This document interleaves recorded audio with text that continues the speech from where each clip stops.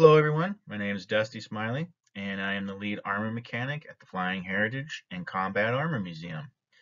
Today's presentation is a restoration overview of the museum's M55 self-propelled howitzer, better known as the Eve of Destruction. And I'd like to just take a couple of moments and give you a, a just a quick background on on my line of work before uh, becoming an uh, employed at the museum. Uh, I used to work at my dad's business, Smiley's Incorporated, up in Mount Vernon. And I would say that uh, probably in 2005, my dad and I started restoring military vehicles. And we started out as a hobby, and then it became part of the business. And then that is how uh, we got involved with the M55 restoration project for the museum. Um, so on this slide here, what you're seeing is a uh, it's an international, a 1942 International M24, and that vehicle and the M55, I think, best represent uh, probably the the pinnacle of my of any of the restorations I've done, and I'm really proud of both of those, and I'm really proud of what I learned while working uh, for my dad and I hope that I am carrying that on here at the museum and I'm really uh, proud to share all of that with you guys. So enjoy. So here it is, arriving at Smiley's Incorporated in Mount Vernon, Washington. Uh, it was a very exciting day, and as you can see, it took a big truck and a pretty long trailer to uh, haul the gun from the museum up to Mount Vernon. Uh, the gun itself weighs about 90,000 pounds. It's almost 12 feet wide and nearly 12 feet tall. The gun was built in 1952 by Packard, and so it was kind of cool. It's a locally built uh, here in Washington State. Once it was inside the shop, we were able to use the overhead crane to start uh, removing some of the heavier pieces. And here we have uh, one of the storage boxes and also uh, on the leading edge of that storage box is part of the ductwork where the exhaust uh, exits out the side. And in the foreground of this picture, you can see the four battery trays, and they were severely corroded. Here we are uh, looking at the back of the gun uh, at the recoil spade, which has been lowered to the ground with the overhead crane. And the the spade is actually raised and lowered with an electric winch and cable housed inside the turret. There's no hydraulics on the spade at all. Uh, along so, some of the other repairs that we had to do, um, we had welding repairs. We had, uh, like here as an example, is a crack on the travel arm. Uh, so we opened up the crack and cleaned it up and uh, then welded it back up and we sanded it down and smoothed it all up and then of course we uh, repainted everything. Here uh, you can see the storage compartment box uh, lids and those those were made out of aluminum and some of the channels that were uh, riveted to the underside of the doors as uh, to reinforce the doors were damaged so we had to replace some of that uh, also on the turret, the, the driver door and the gunner door, all the hinges had to be repaired and those doors were also removed. Uh, there were also little fenders that we had to straighten out. Uh, some of the hinges on the compartments were damaged, and so we had to either replace or repair those. And then there was some this just some miscellaneous sheet metal work that had to be straightened out as well. Uh, here the gun sits inside our shop. And right below the barrel, I want to point out that structure there. And that structure is what where all of the deck plates, the louvered deck plates, all fasten to that structure. And you can kind of see in the center of that structure, uh, that's your exhaust manifold and then the exhaust pipe uh, where it exits out the side there. And this structure also, we had to remove that structure in order to get the power plant out as well. Here is the uh, power plant as it sits inside the gun. Uh, it's a Continental uh, air-cooled V12. It has just under 1,800 uh, cubic inches uh, 704 horsepower. Uh, it develops 1,400 uh, foot-pounds of torque. The yellow areas indicate the transmission oil coolers. In the blue area, it had twin air cleaners. Uh, one of them has been removed, and you can just see the top of one of the other ones there, the kind of the half moon structure there. The red uh, indicates where the uh, that is the auxiliary uh, power unit, which was used to power up the turret. It would give the turret uh, electrical power so they wouldn't have to uh, run the main engine. It also, some other uh, facts about the gun. It's a 24 volt electrical system.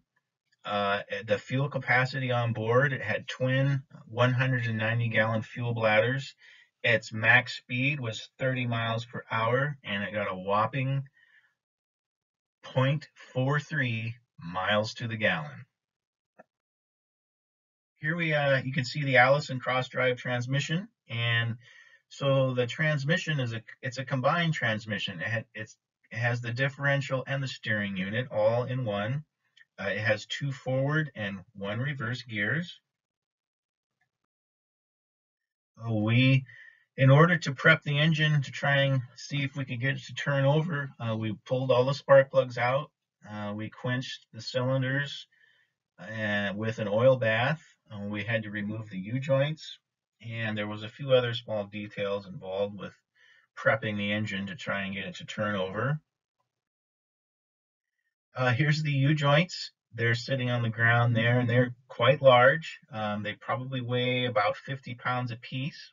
We also fabricated a spline shaft that you could insert it into the front of the transmission uh, to see if we could get it to turn over. And unfortunately, it was all froze up.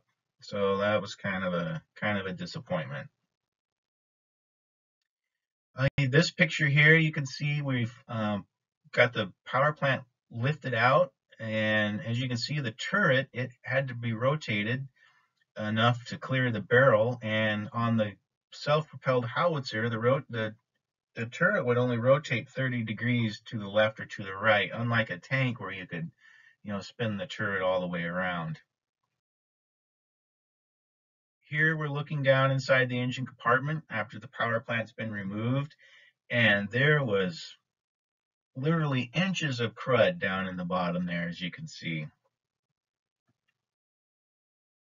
The next step uh, was to, we put all that structure back on so that we could put the deck plates back on.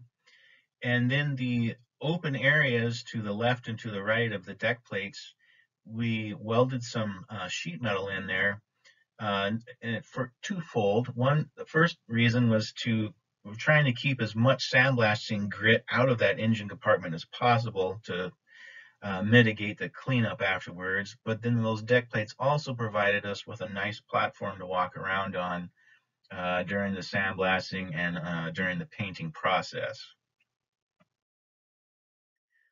Uh, one of the very cool things about doing restoration work is discovering the history of the artifact. And I was able to find uh, some of the original markings. And here you can see the star on the turret and the registration number on the door. And on the back of the turret, I was able to find some very obscure and very hard to decipher uh, unit markings. And here we are doing uh, in the middle of the process of sandblasting. I'm up on top of the turret there. And then on the picture to the right, you can kind of see the the back of the turret has been blasted, and then but the bottom of the hole has not been blasted yet. So you can kind of just see the the contrast there. Uh, we used a steel grit as a, a, a blasting media, and it's reusable, which is unique and it leaves behind a really nice clean profile that is uh, provide provides an excellent service for the paint to adhere to as well. In this picture, um, we've got, I'll, do, I'm going to explain a little bit about the what we did with the road wheels and the hubs here.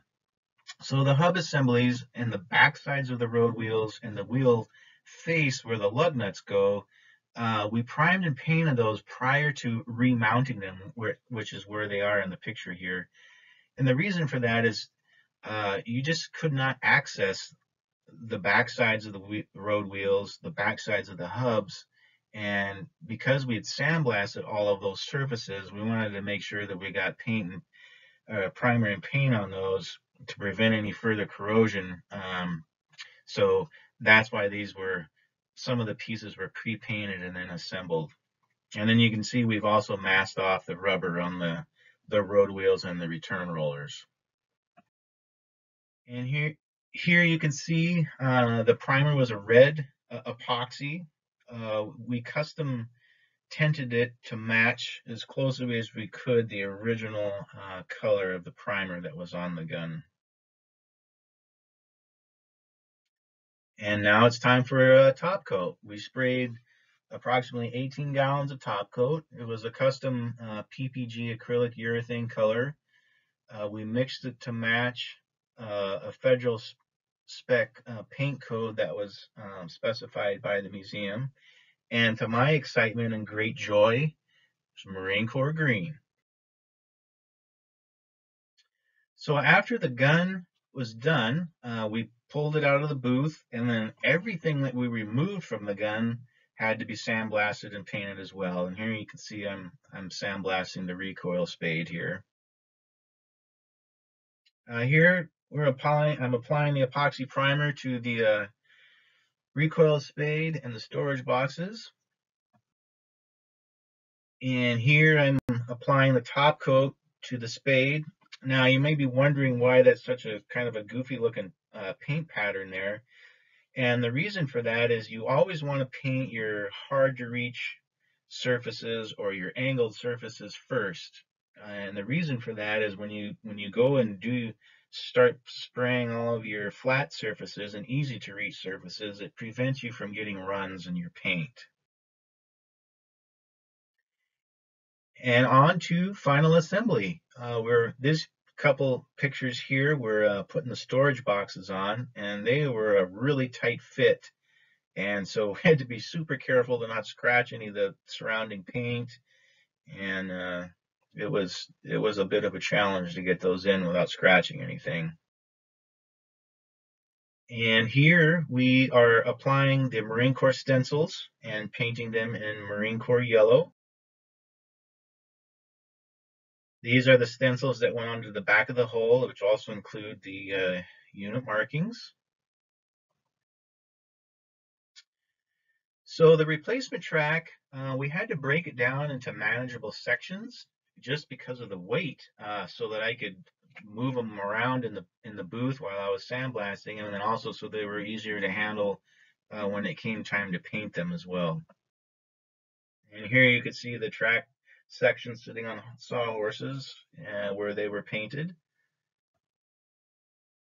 And we then had to reassemble the track and here we are getting ready to uh, pull the M55 in to uh, put the track on.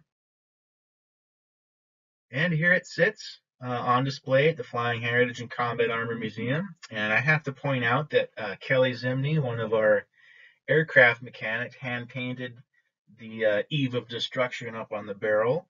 Thank you, Kelly, for doing such a nice job. And I want to thank all of you for watching. I hope you enjoyed the content. And I want to give uh, all my fellow Marines out there a big Semper Fi. Thanks again. We'll see you on the next one.